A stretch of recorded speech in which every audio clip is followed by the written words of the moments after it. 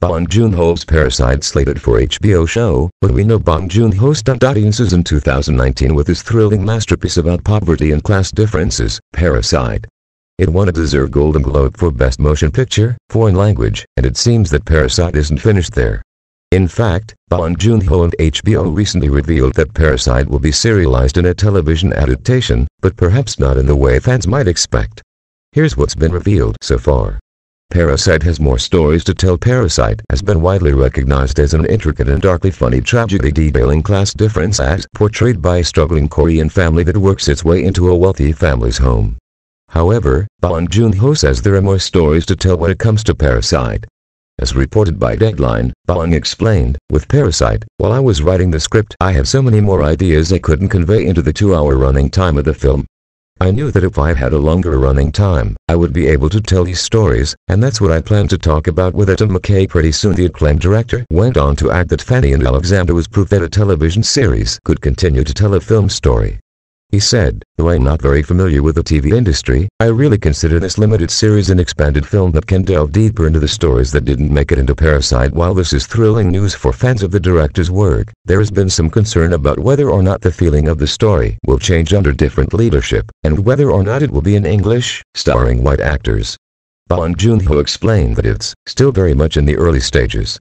I'll soon meet with Adam to talk about the setup. For now, a lot of things are open why Adam McKay and HBO? When it comes to a television adaptation of his work, Bong Joon-ho's reasons for picking Adam McKay and HBO. It turns out the Parasite director respects Adam McKay quite a bit.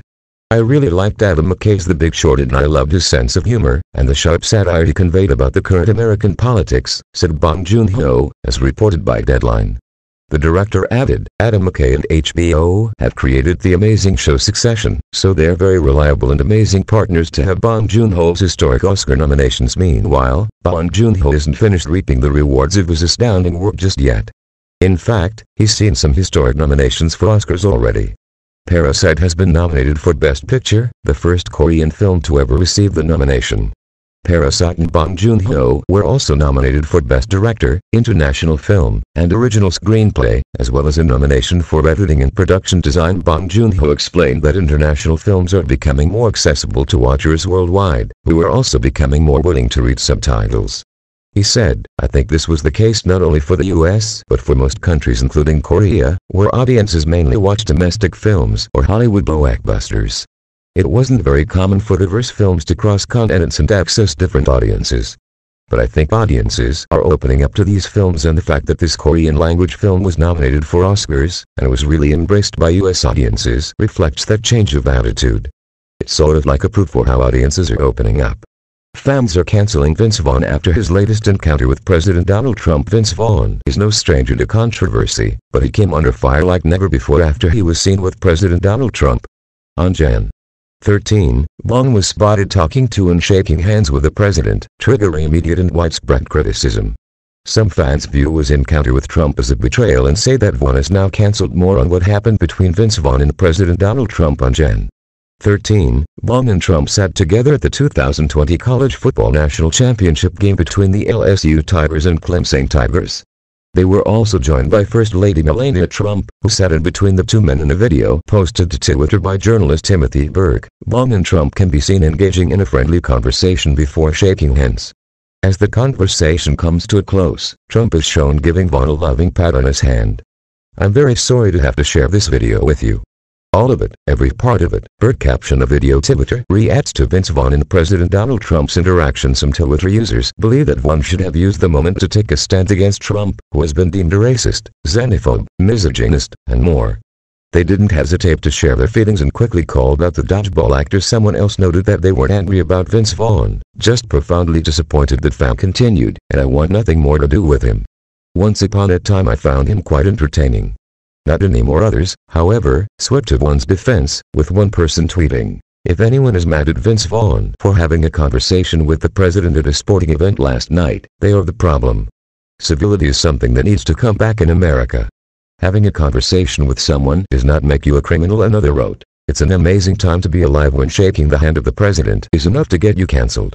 Vince Vaughn doesn't strike me as one to give a SHT fortunately.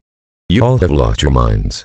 You never learned Vince Vaughn showed the sitting president the proper respect, tweeted another. The rest of Hollywood should learn from Vince Vaughn why this isn't surprising Vaughn is openly conservative. He supported many Republicans in the past, including former Representative Ron Paul and Senator Rand Paul.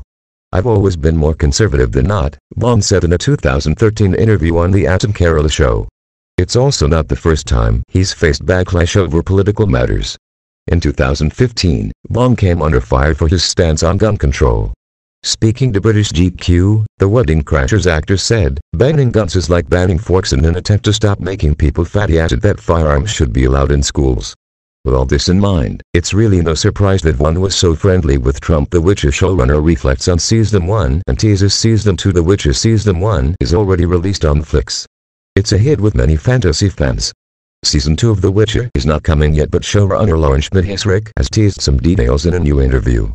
Read on to find out what the showrunner thinks of the reaction to the first season and what will develop in season 2. What did Lauren Schmidt-Hissrich think of the reaction to The Witcher? The Witcher Denian Intelligence interviewed showrunner Lauren Schmidt-Hissrich this entire past month has been so surreal, she says.